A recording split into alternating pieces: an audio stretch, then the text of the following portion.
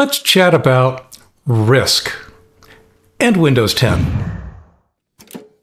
Hi everyone, Leo Notenboom here for AskLeo.com. So you already know that risk is everywhere. Heck, just getting out of bed, or for that matter, staying in bed, involves risk of some sort. And of course, using technology involves risk.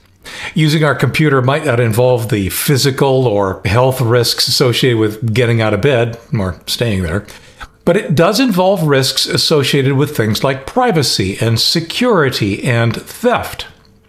Now, the end of Windows 10 support is the latest situation that's really forcing us to think hard about risk. Every decision is about managing risk, and there are no perfect answers. I've written about this before that there is no such thing as safe, for example. You could be more safe, you can be less safe, but you cannot be absolutely safe. Everything involves risk. Risk management, then, is all about being safer or as safe as you can pragmatically be. Windows 10's end of support is a great opportunity to examine risk. But this kind of thinking is important in the way you manage any technology. Honestly, perhaps life itself. Now, at Windows 10's end of service later this year, you have four main options each with its own set of risks. Number one, do nothing. Maybe you don't like Windows 11, maybe your machine can't handle it, but one very important option to understand is to simply do nothing. Keep running Windows 10 after the end of support date. The risk is that security vulnerabilities would be discovered and not patched, and your security software might not protect you quickly enough or at all. Now, to be clear, this isn't about security software itself not being updated. Most will be, including Windows Security. It's about those updates arriving soon enough, or the vulnerability being something that security software can even protect against. Remember, even security software itself is never perfect. Option number two, of course, is to upgrade to Windows 11. If your existing machine supports it, you could upgrade to Windows 11. The risks here, well, a little less scary, I suppose, include not being able to acclimate yourself to the user interface changes, and that some of the programs you rely on may also have changed in ways that prevent you from using them as you did before. There's also a small chance that the software you run in Windows 10 might not run in Windows 11. Option number three then is to get a new PC for Windows 11. If your existing computer can't run Windows 11, replace it. The risks seem a little less risky, but still no less annoying. To begin with, you're spending money on new hardware.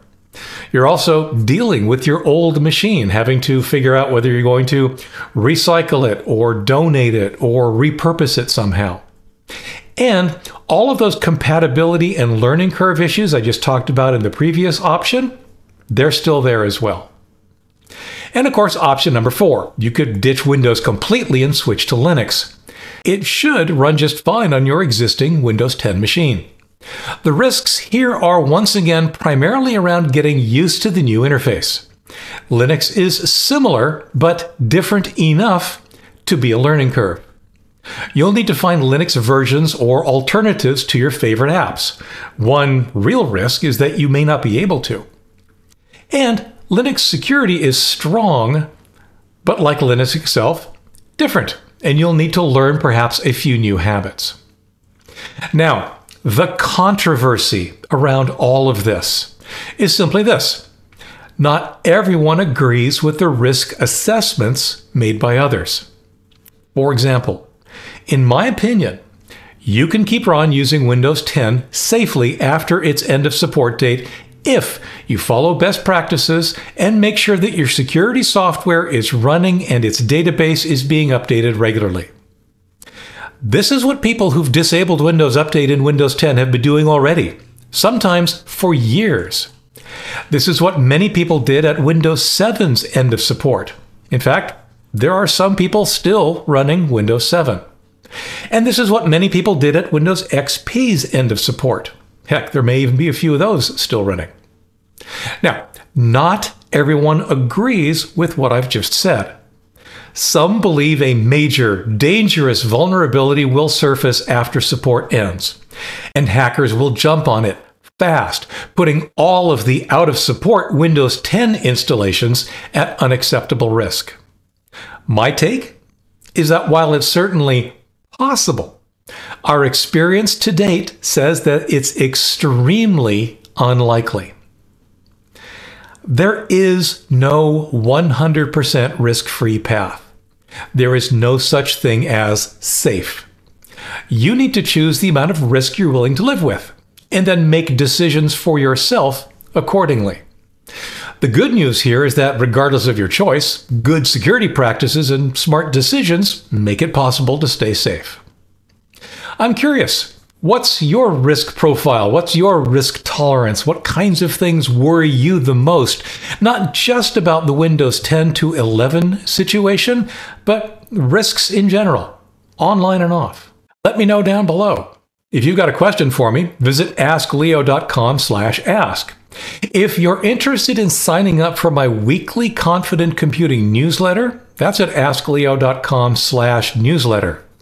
And if you want to chip in and help keep this thing running, visit askleo.com/patron for all of the options available. As always, thanks for watching. I'm Leo Notenboom, and this is AskLeo.com.